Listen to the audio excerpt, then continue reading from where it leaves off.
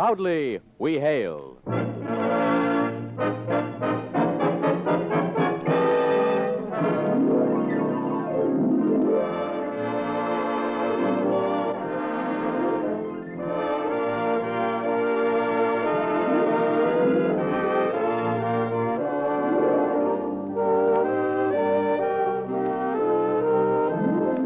New York City, where the American stage begins, here is another program with a cast of outstanding players. Public service time has been made available by this station to bring you this story as proudly we hail the United States Air Force.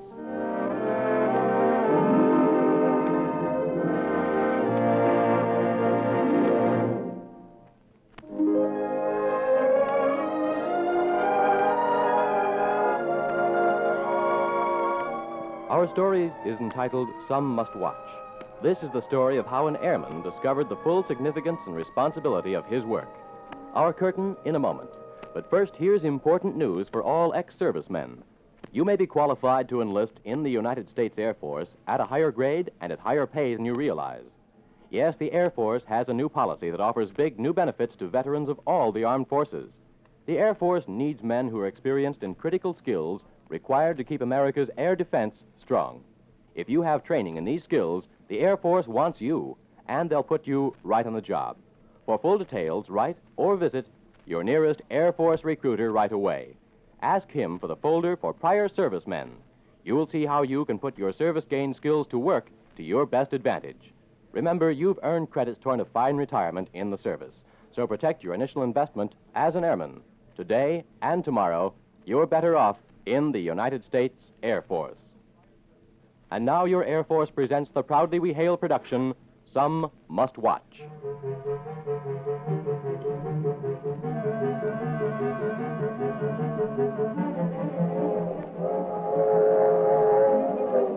No, pardon me. Has, has this seat been taken? Yeah, by you just now. Oh, forward of me, wasn't it? Not if you don't mind riding backward. well, I, I know where I'm going, so I don't mind watching where I've been. Here, let me help you with that bag. oh, thanks. Hey, that's pretty heavy. You Yeah. must be planning to stay a while. Anyway, up to 30 years. I'm in the Air Force, just reporting into Lackland Air Force Base for basic training. My name's Cronin, Andy Cronin. My name is Monroe, Ralph Monroe. I want to congratulate you on your choice of service, Andy. I'm an old Air Force man myself. Oh? You, uh, gonna be a jet jockey, I suppose? Well, I, I don't know. I, I'd like that, I guess. But there are a lot of interesting jobs in the Air Force today. Oh, that's true. That's true. Every one is an education in itself, but they all boil down to the same thing. What's that? See that little girl down in the car there, Andy? The one sleeping on her mother's lap? That's the one. You ever stop to think that there has to be someone watching so she can sleep? Her mother? No. You. Me? You? A lot of scientists at Oak Ridge, airmen in Texas, Okinawa, Greenland, places you've never heard of yet. I never thought of it that way. Look, the little girl's smiling in her sleep. You know that she's not dreaming about her mother lying in the ashes of their bombed out home. You sound as though you've come across kids that have had some pretty bad dreams. I have. Korea? That's right. See, I was over there with the Air Force. When a man sees what war does to kids, he wants to devote his life to seeing that it never happens to his own. And I have four two boys and two girls. Well, that sounds like a big project. it is. And for me, it all started at a wrecked airfield outside a little village in Korea. A ghost village. Can't remember its name, but that's not important as long as I remember what happened there. See, the UN ground forces were moving north, pushing the communists back. And we followed right along with them, reactivating captured airfields. The communists had left this particular field in their usual mess, but our outfit was used to that sort of thing. Okay, make it real pretty now. Hiya, Fred. How are things shaping up? Fine. How you coming? Oh, by tomorrow morning, this place will operate like Mitchell. Those airways and air communication system boys work fast, don't they? Seems to me you said the same thing in a nicer way last week when they gave you the message saying you were the father of an eight-pound boy. Look, my wife, not AACS, gets credit for that. Sergeant Monroe? Sergeant Bailey? yes, sir. Yes, Colonel Briggs? Sergeant Davis returned from reconnaissance yet? I saw him drive off with Corporal Chang, the Korean interpreter, about uh, two hours ago, Colonel. Now, let me know as soon as he gets back. Yes, sir. Well, from the looks of things, I'd say the commies don't expect to be coming back this way soon. Well, they certainly wrecked the place, didn't they, Colonel? Yeah, but we seem to have interrupted them before they could blow up those two hangars. I want you two to check around in there and see what facilities there are that the maintenance section could use. Right away, sir. Oh, here comes Sergeant Davis now, Colonel. Sergeant Davis! Over here. Yes, sir. Has the area been cleared? Yes, sir. The commies are running north as fast as they're able with our aircraft chewing on them all the way. Good. Uh, tell the radio section to notify Wing headquarters that we'll be in business by tomorrow morning at the very latest. Yes, sir. And while you're about it, tell them to ask Wing to send a C-54 with food for the people in the village down there. Lots of rice, kimchi, the usual things. Reds probably cleaned the place out as they always do. Colonel, I, uh, I'm afraid that won't be necessary. What do you mean afraid? Well, sir, we just came back from looking over the village, and, uh, Yeah, and? well, I suppose the people who lived there must have been anti-communists. You mean all the people in the village? Are... Uh-huh. Well, there are a couple of kids foraging in the ruins, but they ran when they saw us coming. Corporal Chang says the communists tell them we feed them poison and use them for germ warfare experiments. You know, I was reading the letters to the editor in a back copy of my hometown newspaper yesterday. A man wanted to know why his tax money was being used to buy planes to fight over here. He signed it father of three. Did he get an answer? No, I suppose the editor figured he answered it himself when he signed the letter. Is there anything else, sir? Yes, I want the radio section to tell Wing to have combat cargo rush fuel, bombs, rockets, napalm, anything we can throw at or drop on the communists. I want this field operational in an hour. Yes, sir. Can we do it, men? We'll do it, sir. It's only difficult, Colonel. We're used to doing the impossible.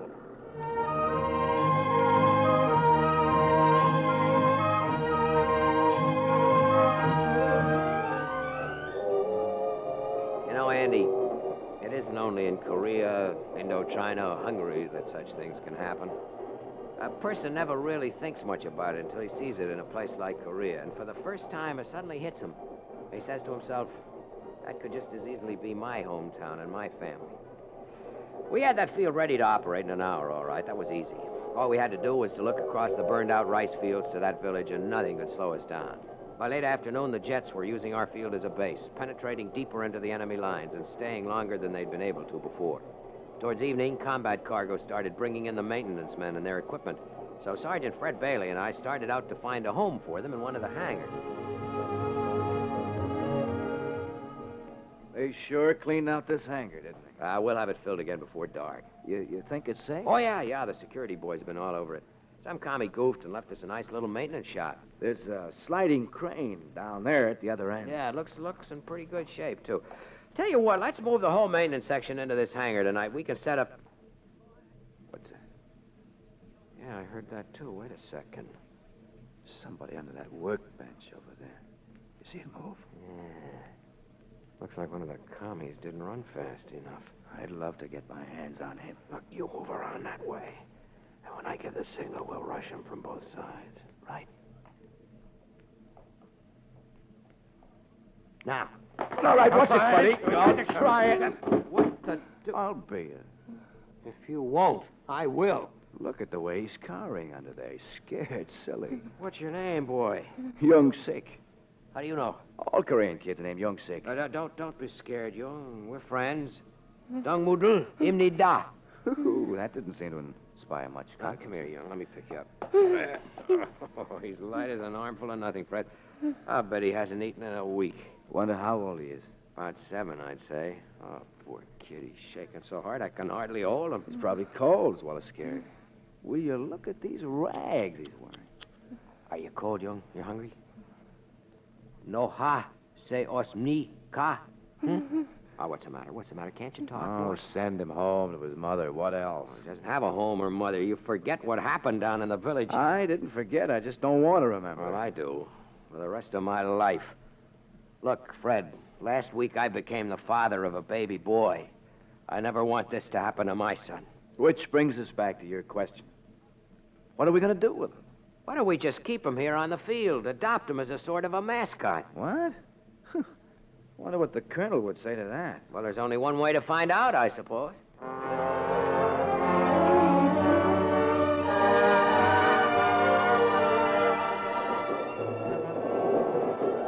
Colonel was a family man, so it was no trouble getting his approval to rehabilitate young Sik. I took over with Sergeants Wayne Davis and Fred Bailey as sort of assistant guardians. There's only one thing wrong. See, it's always been my opinion that the mission in life for small boys is to get under your feet, on your back, and in your hair. They yell, they explore, experiment, and they eat too much. But not young Sik. Never had a word to say, and the only time that I saw his expression change in those first three weeks was from blank to quiet resignation when the flight surgeon gave him a vaccination. Resigned. Resigned. That's the way it was about everything. And then one day, while we were giving him a bath, in the tub cut out of an old you know what gets me is why he doesn't put on Yeah, weight boy. faster. hey, I tell you, that kid eats more than I do. Come on, turn around, young. Yeah, come on. Dolura, say o si si o. Ah, That's it. That's it. He takes a lot of chow time, but you know, I think he stashes it like a squirrel. You ever notice how he takes a little bit of everything and then fills his pocket? Well, that's natural enough. He's shy. Besides, people who've been starving always hoard food until they get used to the idea that there's enough. Yeah, and another thing, what does he do with all the clothes we give him? You know, that's the third set I've cut down for him in two weeks. Ah, but you sew such a fine seam. Fine you should taste my cherry pie. You pie. know, you know, I think he does have a touch of squirrel in him. Probably has a little pile of clothing and stale food somewhere. He disappears a couple of times a day to add to it. You missed a spot. Where?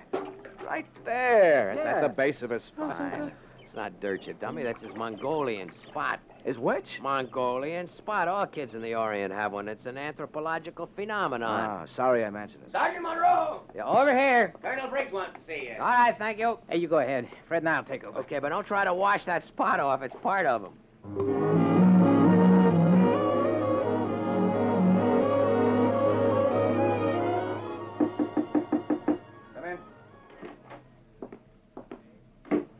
Wanted to see me, sir? Uh, yes, I did, Sergeant. Sit down. Thank you, sir. How are you doing with that Korean boy? Well, he's still pretty much withdrawn, sir. He's passive and he submits to whatever we want to do for him, but we think we'll have his confidence pretty soon. Mm-hmm. Uh, tell me, Sergeant, uh, does he seem to have uh, taking ways? Oh, no, sir, nothing like that. I mean, he's a little careless. He loses clothes, soap, that sort of thing. Well, I've been reluctant to tell you this until I was sure. But I'm afraid young Sik is suspect. How do you mean, Colonel? Uh, I know how fond you've grown of the boy in the three weeks you've been taking care of him, but war does bad things to children. May I ask what it is Young is suspected of doing, Colonel? We're convinced that young Sik has taken advantage of his position here to steal government property. But why would he do that, sir? I'm sorry, Sergeant, but I'm afraid your little friend is a juvenile black marketeer.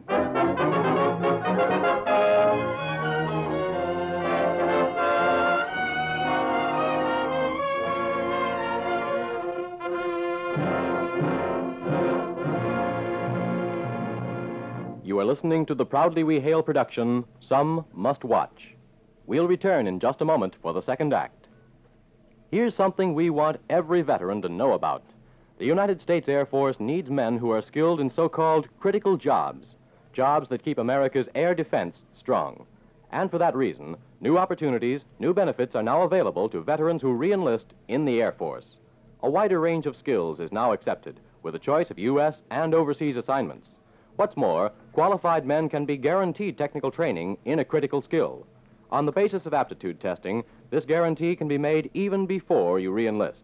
The Air Force has other important advantages for you, too. A paid 30 day delay in reporting if requested, a more favorable conversion list for all veterans, especially men with technical experience and know how. There's also a new grade policy in effect, plus new rules on eligibility. So if you're a veteran of any service, contact your nearest Air Force recruiter now. Remember, today and tomorrow, you're better off in the United States Air Force.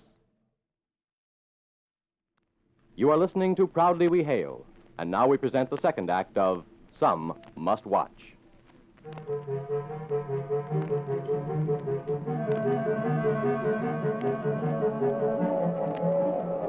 When the colonel told me that Young was suspected of being a black marketeer, I knew it couldn't be true. Of course, Young had the run of the field all day, and at night slept in his own room in our barracks right behind the main hangar. He'd had plenty of opportunities to pick up a lot of government property if he wanted to. But even if he had, I didn't see how a little fella like that could carry it past the perimeter guards. It just couldn't be true, and that's what I told him. I appreciate your feelings in this matter, Sergeant Monroe. I know you've become attached to the boy, and so have we all. But there's no mistake. I think we better send him to the orphanage at Cheju Island. It's a fine place there. They'll take good care of him. I know they would, sir, but I'd like an opportunity to clear Young. Could you tell me what he's suspected of taking? Well, I've had Lieutenant Carpenter prepare a list of missing articles that young Sik either had in his possession at one time or was permitted access to. How do you mean, sir? All the men are trying to spoil the boy into smiling. He never does, as you know. So they let him browse in and out of the billeting office personal equipment and the base supply stores as he pleases. Yes, I know that, sir.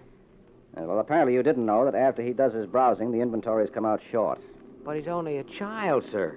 Uh, war robs children of their childhood, Sergeant. Well, maybe Young did take a few things, Colonel, but not for the black market. Now, Young isn't that kind of a kid. Well, this is a pretty strong indictment, Sergeant. I'd be happy if you could prove it was just, well, carelessness by locating these articles. However, I believe Cheju Island is the only answer. Colonel, Colonel, I see in Young the possibility of my own son seven years from now. He needs someone to belong to, someone to look out for him, and I'd like to be that someone as long as necessary. And How will you know when you're no longer necessary? I figured that out, too, sir.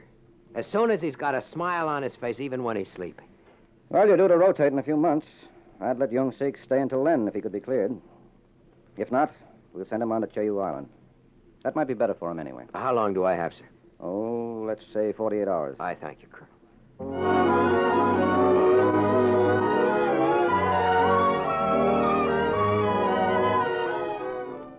Hey, Pete, read that list of missing articles again, will you? Uh, three Air Force issue blankets, two pillows, four sheets, two flashlights, two cartons flashlight batteries, one flight thermos jug, one flight jacket, one aircraft first aid kit, one ream of bond paper, three fountain pens, and assorted toilet articles. Wow, sounds like Young is trying to start his own Air Force, doesn't it? yeah. Colonel has a point. That list does smack of commercial. I don't believe it. I don't believe it. If Young took those things, you can bet next month's pay they're still somewhere on this airfield. And I'm on your side, Pete. Hey, he's too nice a kid to be operating in the black market. I'll make it unanimous. Now all we have to do is find everything on the list. You know, it's, it's that list that convinces me Young is clean. Well, how do you mean? Well, look at look at what articles are missing. Bedding, flashlights, all the rest of those things. Yeah, well, what about it? Well, there are a lot of other things that are more negotiable on the black market. Cigarettes, penicillin. Hey, hey, you're right about that. Yeah, but that still doesn't explain where these things went. Oh, he took them all right. Young's a squirrel, you remember? Yeah. Well, we got 47 more hours to find where he hides his acorns. Might take longer than that, so let's clear him on this black market rap first. Well, I know how to do that. Look, we'll get the colonel's permission to sign out some penicillin, see, and other medicine from the base surgeon. And we'll pile them on a couple of cartons of cigarettes. Then we'll put the bait where Young can't miss Hey, it. that's a good idea. Yeah, where'll that be? Uh, let's see. Young is always loafing around the main hangar. Let's put it in there where one of the mechanics can keep an eye on it. Oh, Kurt Matson's there all day. He can be our lookout. Well, that's our first step then. Look, if Young springs the trap, we know he's been traveling in mighty bad company. I'll round up the bait and plant it. We'll meet in the hangar just before retreat and get the good airman Matson's report. Roger. Over and out.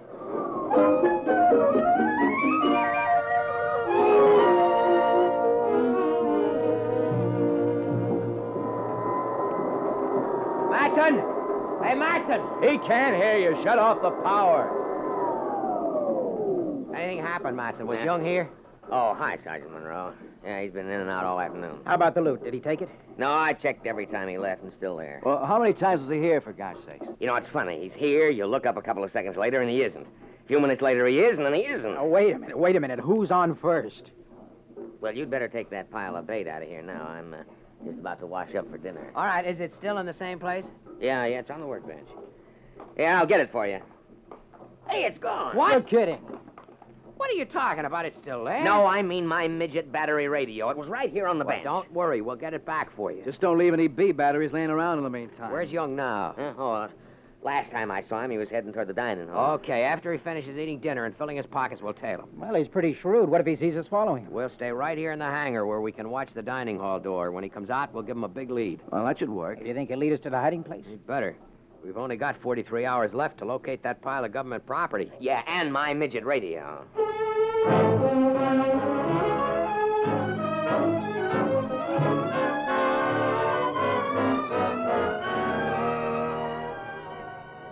Fellas, this was very poor planning. We should have eaten first and then followed them. All you can think of is your stomach. Quiet, quiet, quiet. Young's coming out of the dining hall now.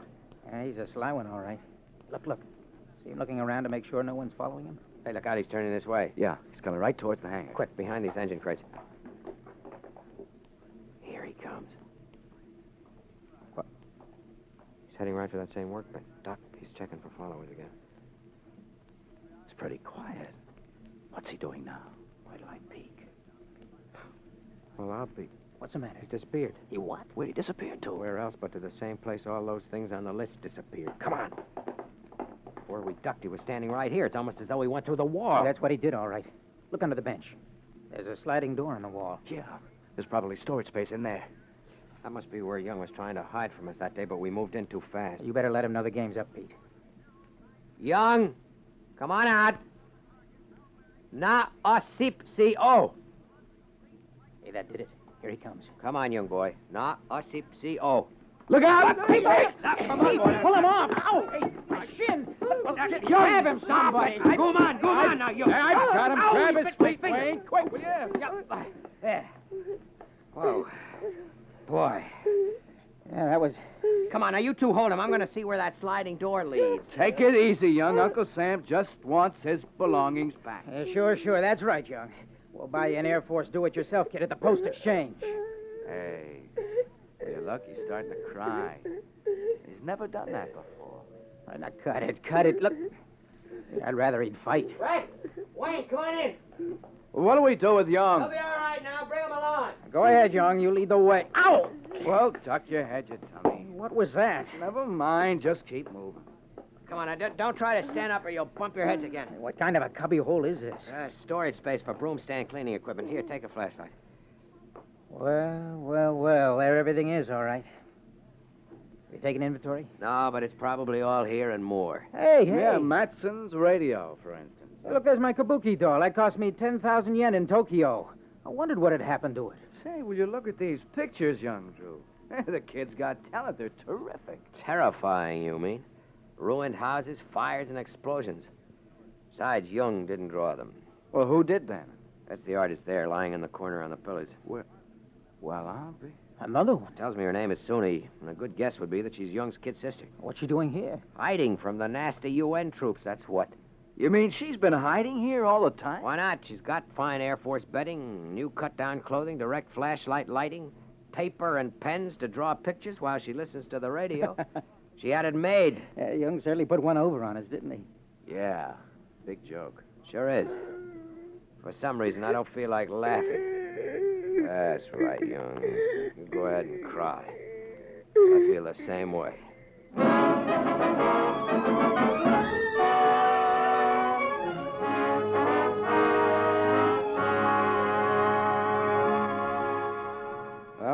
Seems to be everything. Yeah, except for the bond paper and the used flashlight batteries. I'll have Lieutenant Carpenter make out a statement of charges against me for those. That won't be necessary, Sergeant. Those items are expendable. There's only one thing that bothers me. How did Jung know about that cubby hole in the first place? Well, according to Corporal Chang, the Korean interpreter, the communists had conscripted the villagers to do their dirty work.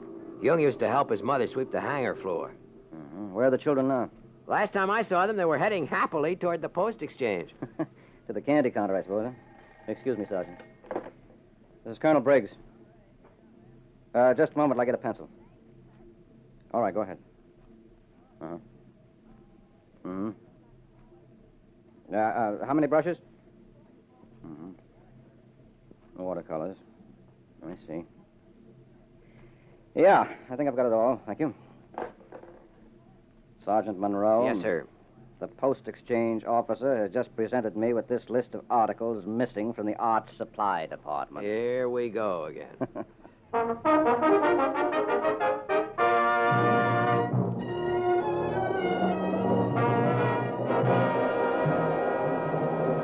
From the moment Young saw that we wouldn't harm his sister, he opened up and became just as ornery as any other seven year old. We loved every second of it. Poor kids. But that sort of thing can happen to kids when the people they have to depend on aren't ready to protect them. Well, I'm glad I had this talk with you. You know, your story made me realize a lot of things I never thought of before. Only people who have freedom take it for granted. San. Antonio. San Antonio. Oh, I better get my bag down. It's where I get off. Now, don't rush away. This is my station, too. Well, then maybe you can tell me how to get to Lackland Air Base. Well, there's an Air Force bus to the base, but my family is meeting me, and we can give you a lift. Oh, there's my family now. They see me. And look at the kids waving. Oh, those are your four children? Yeah, yeah, reading from left to right. That's Peter, Junior, young Sik, Suni, and that's Nancy, my wife Elizabeth, is holding. look, Nancy couldn't wait. She fell asleep. With a smile on her face. Yeah, and I'm going to keep it there. Come on, we'll give you that lift to the base. Well, now, I don't want to take you and your family out of the way, Mr. Monroe. You won't. We live there. And it's not Mr. Monroe. It's Master Sergeant Monroe. I'm stationed there, too. You mean you're still in the Air Force? Certainly. That's my big project I was telling you about. You know, some must watch while some must sleep. Thus runs the world away.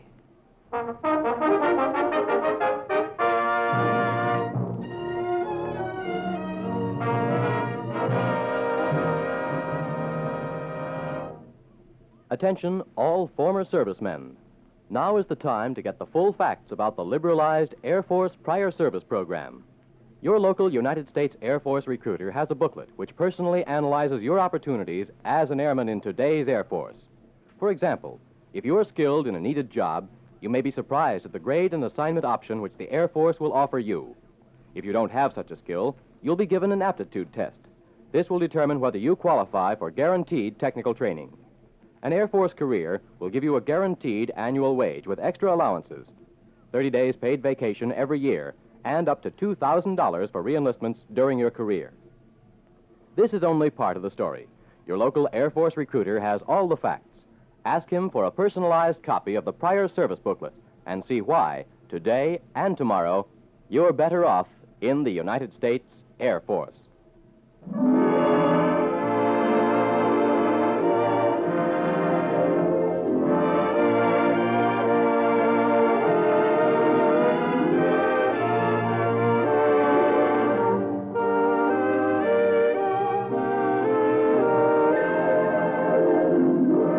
This has been another program on Proudly We Hail, presented transcribed in cooperation with this station. Proudly We Hail is produced by the Recruiting Publicity Center in New York for the United States Air Force. This is Ralph Roland inviting you to tune in this same station next week for another interesting story on Proudly We Hail.